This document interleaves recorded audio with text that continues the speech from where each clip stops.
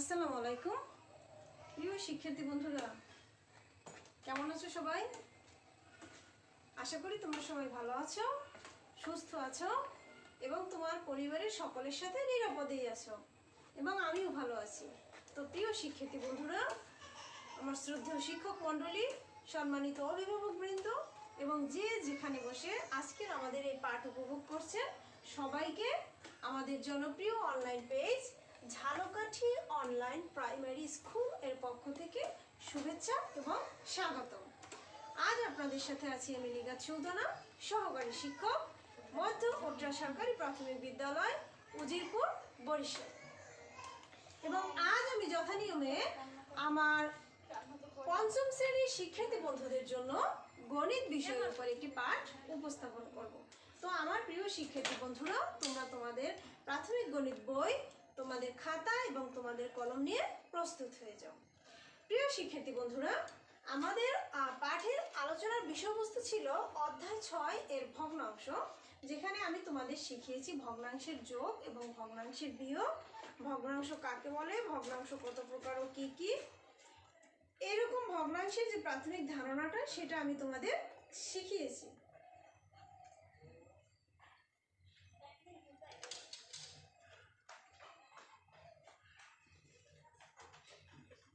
তো প্রিয় শিক্ষার্থী বন্ধুরা, আজ আমি তোমাদের শেখাবো ভগ্নাংশের যোগ এবং ভগ্নাংশের বিয়োগ থেকে এর যোগ্যতা ভিত্তিক সমস্যার সমাধান। তো প্রথমেই আমরা একটু আমাদের আগের পড়াটা মনে করে নেই, ভগ্নাংশ। ভগ্নাংশ কাকে বলে? আমি শিখিয়েছি, একটি পূর্ণ বস্তুকে যদি সমান কয়েকটি অংশে ভাগ করি, তাহলে প্রত্যেকটি অংশই হবে ওই গোটা বস্তুটির একটি ভগ্নাংশ। এরপর আমি তোমাদের শিখিয়েছি প্রকৃত ভগ্নাংশ কি, অপ্রকৃত ভগ্নাংশ কি, মিশ্র ভগ্নাংশ কি, আমি কীভাবে মিশ্র ভগ্নাংশকে রূপান্তর করব, কীভাবে আমি অপ্রকৃত ভগ্নাংশকে মিশ্র ভগ্নাংশে রূপান্তর করব, এগুলো আমি তোমাদের শিখিয়েছি।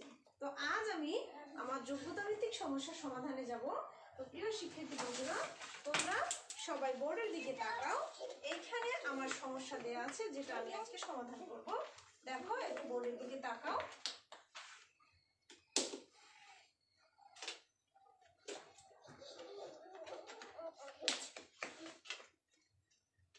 দেখা যাচ্ছে? একটু বোর্ডের দিকে লক্ষ্য করো। এখানে একটা সমস্যা দেওয়া আছে তোমাদের জন্য।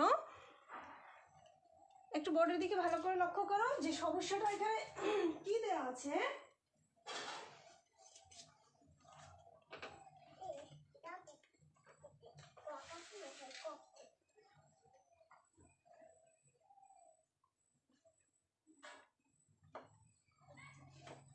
দেখো আছে, জামাল সাহেব তার সম্পত্তির চার ভাগের তিন ভাগ ছেলেকে। কি লেখা আছে? জামাল সাহেব তার সম্পত্তির চারের তিন অংশ ছেলেকে, আটের এক অংশ মেয়েকে এবং বাকি অংশ স্ত্রীকে ভাগ করে দিলেন। জামাল সাহেব হচ্ছে একজনের নাম। তিনি কি করছেন? তার সম্পত্তির চার ভাগের তিন ভাগ দিয়েছেন তার ছেলেকে। মানে তার পুত্র সন্তানকে তিনি দান করেছেন চার ভাগের তিন ভাগ। তার কন্যা সন্তান মানে মেয়েকে তিনি দান করেছেন, আট ভাগের এক ভাগ এবং বাকি অংশ তিনি দান করেছেন তার স্ত্রীকে। তো এখানে প্রশ্ন হলো তোমাকে এখানে ক, খ, গ যেভাবে তোমার পরীক্ষায় প্রশ্ন আসে যোগ্যতা ভিত্তিক যেখানে আট মার্কস দেয়া থাকে সাধারণত, এখানে দেখো প্রথম প্রশ্নটা হলো, প্রকৃত ভগ্নাংশ কাকে বলে? আমি তোমাদের সকলকে শিখিয়েছি, প্রকৃত ভগ্নাংশ কি? মিশ্র ভগ্নাংশ কি? অপ্রকৃত ভগ্নাংশ কি? তো প্রিয় শিক্ষার্থী বন্ধুরা, একটু মনে করার চেষ্টা করো যে আসলে প্রকৃত ভগ্নাংশ কি? প্রকৃত ভগ্নাংশ কাকে বলে? আমি তোমাদের এটা শিখিয়েছি, যখন আমি কোনো একটা বস্তুকে সমান কয়েকটি অংশে ভাগ করব, দেখো, ধরো আমি চারটা অংশে ভাগ করলাম তার ভিতর থেকে যদি দুই ভাগ নিলাম তাহলে আমি এই যে মাঝখানে দাগ দিলাম, এর নিচে আমি একটা অংশ লিখব এবং তার উপরে আমি আরেকটা অংশ লিখব। যে কয়টা ভাগে ভাগ করব সেটা আমি লিখব নিচে এবং যে কয়টা অংশ আমি নেব সেটা লিখব আমি দাগের উপরে। তো এইখানে ব্যাপার হলো, নিচেরটা হলো আমার হর এবং উপরেরটা হলো আমার লস নিচেরটা হলো আমার হর এবং উপরেরটা হলো আমার লব। এখন প্রকৃত ভগ্নাংশ কাকে বলে? যে ভগ্নাংশের হর বড়, লব ছোট। আবার শোনো যে ভগ্নাংশের হর বড় লব ছোট, তাকে আমরা বলব প্রকৃত ভগ্নাংশ। তাহলে এই যে এটাই হলো আমার একটা প্রকৃত ভগ্নাংশ। এখানে আছে চার ভাগের তিন ভাগ। এটাও একটা প্রকৃত ভগ্নাংশ। অর্থাৎ যে ভগ্নাংশের হর বড়, লব ছোট, তাকে আমরা বলব প্রকৃত ভগ্নাংশ। তাহলে আমার ক সমস্যার সমাধান হয়ে গেল। আমি এভাবে লিখব। দেখো, বোর্ডের দিকে তাকাও।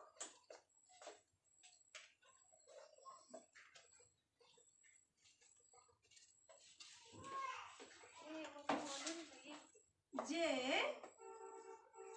সকল ভগ্নাংশের হর বড় এবং লব ছোট। এটা তুমি অন্যভাবেও লিখতে পারো। যে সকল ভগ্নাংশের হর, লব, অপেক্ষা বড় থাকে, তাকে আমরা প্রকৃত ভগ্নাংশ বলব। যে যে সকল ভগ্নাংশের হর লবের থেকে বড় থাকে, তাকে আমরা প্রকৃত ভগ্নাংশ বলব। এরপর হচ্ছে ছেলে ও মেয়ে একত্রে কত অংশ পেল? একটু পরের দিকে লক্ষ্য করো। ছেলে ও মেয়ে একত্রে কত অংশ পেল? এখানে জামাল সাহেব তার সম্পত্তির চার ভাগের তিন ভাগ দিচ্ছে ছেলেকে এবং আট ভাগের এক ভাগ দিছে মেয়েকে। তো আমরা এটা কি করব? যখন আমরা কোনো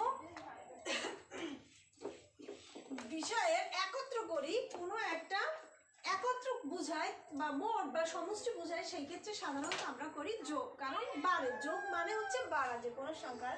তো ছেলে মেয়ে একত্রে কত অংশ পেল?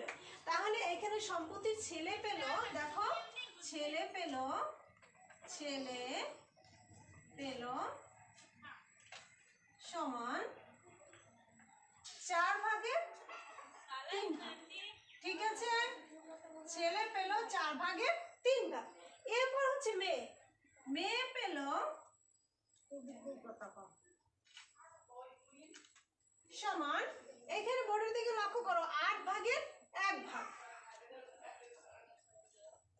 তাহলে তোমাকে প্রশ্ন করা হয়েছে, ছেলে ও মেয়ে একত্রে কত অংশ পেল? তাহলে আমার এটা এরকম হবে যে ছেলে ও মেয়ে একত্রে পেল, ছেলে, একটু বোর্ডের দিকে লক্ষ্য করো ছেলে ও মেয়ে একত্রে পেল।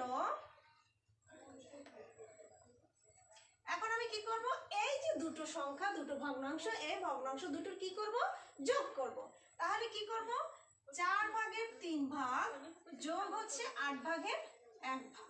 এটা হচ্ছে আমার যোগ। ঠিক আছে? আমি এই চার ভাগের তিন ভাগ এবং আট ভাগের এক ভাগ এখন কি করব? যোগ করব। এখন আমি তোমাদের শিখিয়েছি, যখন আমি ভগ্নাংশের যোগ করব, তখন যে দুটো সংখ্যা হরে দেয়া থাকবে, সেই সংখ্যা দুটির মধ্যে যে সংখ্যাটি বড় থাকবে, তার মধ্যে যদি ছোট সংখ্যাটি নিঃশেষে বিভাজ্য হয়, সেই ক্ষেত্রে আমি বড় সংখ্যাটিকেই লসাগু হিসেবে ধরে নেব। তাহলে এখানে আমার বড় সংখ্যা হচ্ছে আট, আটের মধ্যে চার আমার নিঃশেষে বিভাজ্য, এক্ষেত্রে আমার লসাগু হচ্ছে আট চার আটের মধ্যে দুই দ্বারা নিঃশেষে বিভাজ্য। আমি এটাও শিখিয়েছি যে নিচের সংখ্যাটা দ্বারা আমি হর দ্বারা আমি লসাগুকে ভাগ করব এবং ভাগফলকে আমি লবের সাথে কি করব? গুণ করব। চার ভাগ আট ভাগ চার সমান দুই দুই গুণন তিন সমান ছয়। মানে হচ্ছে চার আটের মধ্যে দুই বার যায়, দুই তিনের সাথে গুণ করলে তিন দুই গুণে ছয়। এখানে আছে যোগ, আট আটের মধ্যে এক দ্বারা নিঃশেষে বিভাজ্য এক, একের সাথে গুণ করলে এক। ঠিক আছে? তাহলে আমার এখানে হলো এত অংশ। সমান হচ্ছে, আমার নিচে হচ্ছে আট, আর উপরে হচ্ছে ছয় যোগ এক সমান সাত অংশ। তাহলে এতটুকু তো আমরা বুঝতে পেরেছি যে ছেলে ও মেয়ে একত্রে পেল সমান চার ভাগের তিন ভাগ যোগ আট ভাগের এক ভাগ, এই দুটো যোগ করলে আমার এখানে আসে আট ভাগের সাত ভাগ। এরপরে তুমি গম, এখানে গম, এইখানে এইটার দিকে লক্ষ্য করো, তার স্ত্রী সম্পত্তির কত অংশ পেল? জামাল সাহেব কি করছে তার সম্পত্তি তিনজনের মধ্যে ভাগ করে দিছে একটা হচ্ছে তার ছেলে, তার মেয়ে এবং তার স্ত্রী। এখন ছেলে এবং মেয়েকে কত অংশ দিল সেটা আমরা পেয়ে গেলাম। এখন আমাদের বাকি রইল স্ত্রী। তার স্ত্রী সম্পত্তির কত অংশ পেল? এখন এটা যেটা করতে হবে, সেটা দেখো। ভগ্নাংশের বেলায় সব থেকে বড় সংখ্যা হচ্ছে এক। একটা জিনিস বুঝবে আমি একটা মোট সম্পত্তি হচ্ছে এক অংশ। সেই এক অংশকে আমরা বিভিন্ন ভাগে ভাগ করে ছেলেকে দিলাম মেয়েকে দিলাম কিন্তু আমার মোট সম্পত্তি হচ্ছে এক। তাহলে আমি ছেলে এবং ছেলে এবং মেয়ে একত্রে পেয়েছিল আট ভাগের সাত ভাগ। ক থেকে প্রাপ্ত? আমি দেখো এখানে আমি গণনা তার স্ত্রী সম্পত্তির কত অংশ পেল? এখন আমি এটা কি কি- লিখব? দেখো, মনে করি মনে করি যদি তুমি না লিখো তাহলেও চলবে, কারণ আমরা সবাই জানি যে মোট সম্পত্তি এক অংশ। মনে করি মোট সম্পত্তি সমান এক অংশ। ওকে? ঠিক আছে। তাহলে খ হতে প্রাপ্ত ছেলে ও মেয়ে একত্রে কত অংশ পেয়েছিল? দেখো খ হতে প্রাপ্ত ছেলে এবং মেয়ে পেয়ে ছেলে এবং মেয়ে একত্রে পেল। ছেলে এবং মেয়ে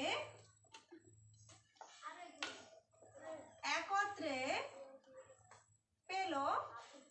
ছেলে এবং মেয়ে একত্রে পেল আট ভাগের সাত ভাগ। তো এখানে আমি লিখব আটের সাত অংশ। এখন তোমার কাছে প্রশ্ন হয়েছে, তার স্ত্রী সম্পত্তির কত অংশ পেল? তাহলে উনি সম্পত্তি দান করছে মোট তিনজনের মধ্যে। আমরা দুইজনের সম্পত্তি ইতিমধ্যে পেয়ে গেছি। এখন আমার বাকি রইল স্ত্রী। তাহলে আমি সুতরাং স্ত্রী পেল স্ত্রী পেল সমান এক বিয়োগ মানে মোট সম্পত্তি থেকে ছেলে এবং মেয়ে যে সম্পত্তিটা পেল, সেই সম্পত্তিটা আমি কি করব? বিয়োগ করব।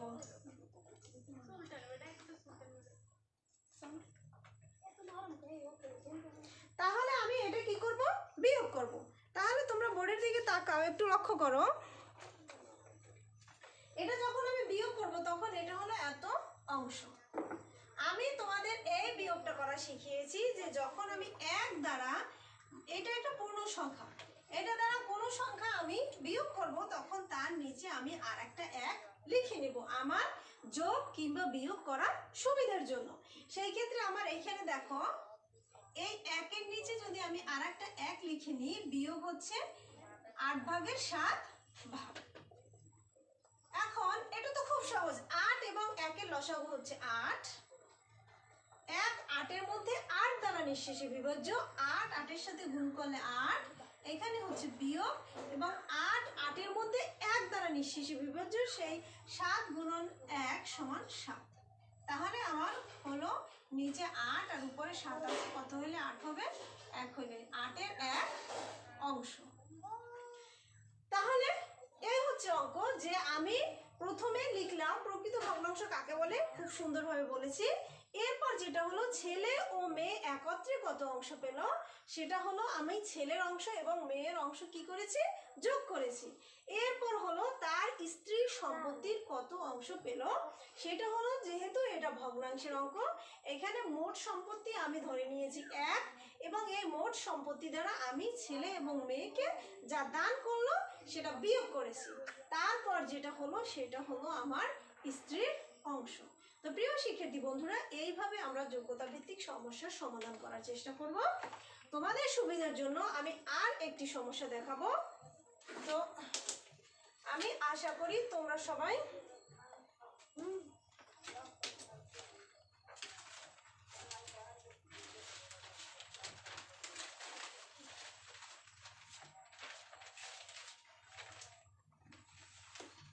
দেখো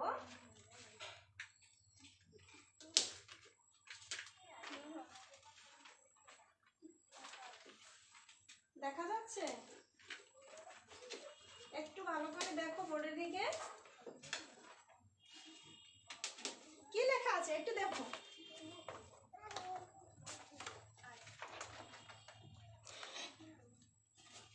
মামুন প্রথম দিনে, একটু লক্ষ্য করো। মামুন প্রথম দিনে একটি বইয়ের তিনের এক অংশ। ভালো করে লক্ষ্য করো। মামুন প্রথম দিনে একটি বইয়ের তিনের এক অংশ, দ্বিতীয় দিনে চারের এক অংশ এবং তৃতীয় দিনে বারোর এক অংশ পড়ল।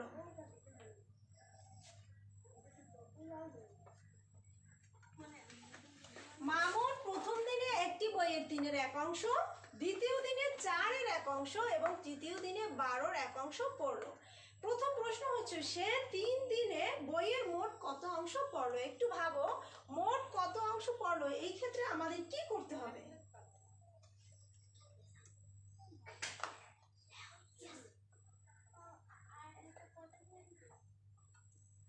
তাহলে যখন আমার কোনো বিষয়ের মোট চাওয়া হয়, সেই ক্ষেত্রে আমরা সাধারণত করব যোগ। যেহেতু আমি তোমাদের ভগ্নাংশের যোগ এবং বিয়োগ শিখিয়েছি এবং সেই যোগ বিয়োগ থেকে আজকে যোগ্যতা ভিত্তিক সমস্যা এবং তৃতীয় দিনে বারোর পড়ল। সে তিন দিনে মোট কত অংশ পড়ল? যখন আমার কাছে মোট চাওয়া হয়েছে, তখন আমি কি করব? ওইটা মোট নির্ণয় করব মানে যোগ করব। তাহলে এটা আমি কি করব? দেখো, বোর্ডের দিকে তাকাও। সে তিন দিনে, প্রথম দিনে পড়ল দেখো, সে তিন দিনে বইয়ের মোট পড়ল সে তিন দিনে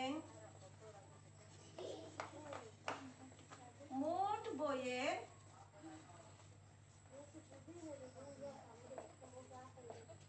পড়ল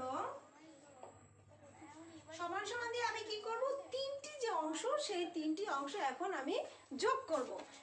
দিনে যে অংশ পড়ল সেটি, দ্বিতীয় দিনে যে অংশ পড়ল সেটি এবং তৃতীয় দিনে যে অংশ পড়ল সেটি, এখন আমি কি করব? যোগ করব। তাহলে প্রথম দিনে ছিল আমার তিনের এক, দ্বিতীয় দিনে ছিল আমার চার ভাগের এক এবং তৃতীয় দিনে ছিল আমার বারো ভাগের